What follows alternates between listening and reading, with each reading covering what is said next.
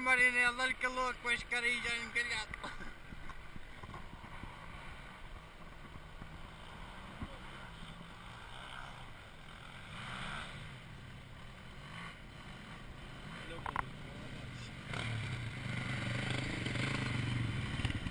Olha vai.